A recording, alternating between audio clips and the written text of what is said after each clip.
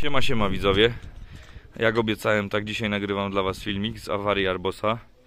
Eee, no co, no nieszczęsny wypadek się taki zdarzył, że e, poluzowały się śrubki na przednim moście. To jest awaria mechaniczna, nie elektroniczna.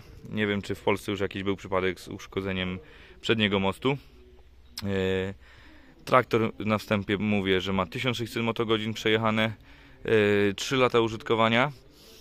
E, Przedni most e, po prostu, gdy został załączany, e, nie zazębiały się tryby, nie zazębiały się zęby te atakujące, które przekazywały moc, ponieważ jest, tam zdjęcie Wam wstawię, jest po prostu na trzech śrubkach takich imbusowych, które rozpychają gwint i trzyma po prostu, trzyma w przednim moście tak jakby przedni napęd. Poluzowały się i jak się, cofa, e, jak się chciało włączyć napęd, to to odpychało, ta sprężyna nie zablokowywała po prostu nie zablokowywała przedniego napędu i umieliło zęby po prostu na atakujące, które zazębiały tak jak w konnej kosiarce. Zazębiały i y, był przedni napęd cały czas włączony. Nie jakaś blokada y, czy, czy cokolwiek, tylko po prostu przedni napęd. Tylny napęd normalnie chodzi, można było jeździć, ale jak gdzieś trochę mokrego się trafiło, czy, czy jakiegoś piasku, to, to, to stawał, no bo jednak przednie koło trochę, trochę jest dość szerokie. Dokładny rozmiar przedniego koła tu mamy 380 380 70 na 28 tu mi piesek towarzyszy ustawiony na kobyłce no co piesiu no już tak wygląda przedni most tak wygląda przedni most tylne opony są tylne opony są co tu mamy może zaraz się dopatrzę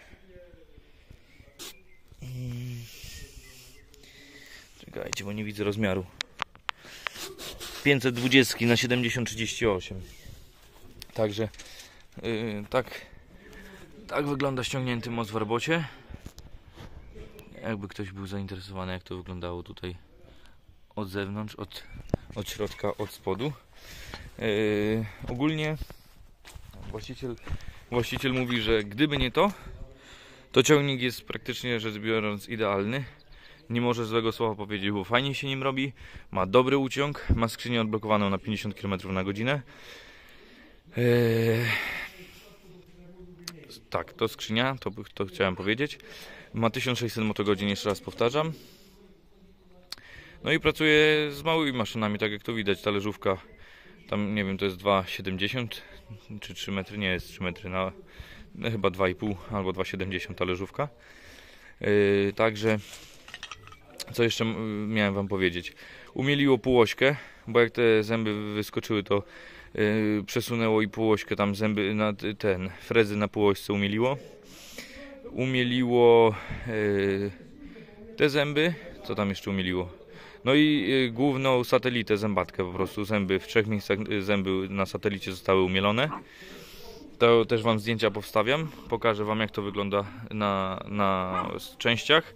Na części trzeba czekać dwa tygodnie. Jedyny, jedyny że tak powiem, e, dealer, który może sprzedać części jest firma Korbanek. Żadna inna firma, żaden inny przedstawiciel nie może, nie może po prostu ściągnąć części do Arbosa.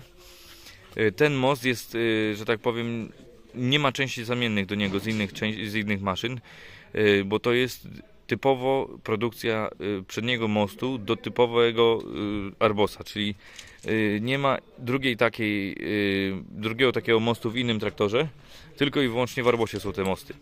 Dlatego jest problem z częściami pod względem czasowym, że trzeba czekać na nie dwa tygodnie, bo muszą zwłok przyjść. Yy, Gwarancja się skończyła gdzieś początkiem kwietnia, mamy już maj, więc miesiąc po gwarancji się już yy, przedni most wysypał. A z czyjej winy nie do końca wiadomo. Pewnie to jest wada fabryczna, bo te y, śrubki imbusowe, które rozpychające są, y, jest gwint rozcięty i rozpychają y, te tarczki, co trzymają y, sprzęgłowe, że tak powiem, nie wiem czy dobrze mówię, może poprawcie. Y, tarczki, które trzymają y, tą sprężynę i zapinają przedni napęd, y, po prostu się odkręciły i te tarczki się wysunęły i one nie zapinały dokładnie tego napędu, nie było to tak na stałe zapięte, tylko jak był zapinany przedni napęd, to, to po prostu jakby śrubek nawrzucał w, w, cylindry i żegotało. Jakby wyłączony, to można było spokojnie jeździć, no bo to nie przeszkadzało. Więcej zdjęć tam Wam porobię, jak to wygląda na, na tych częściach. Y, no i co? Odnośnie jeszcze Wam mogę tu powiedzieć. W sumie chyba tyle. Yy... Cenowo za części właściciel mówił właśnie, co miałem jeszcze odnośnie ceny mówić.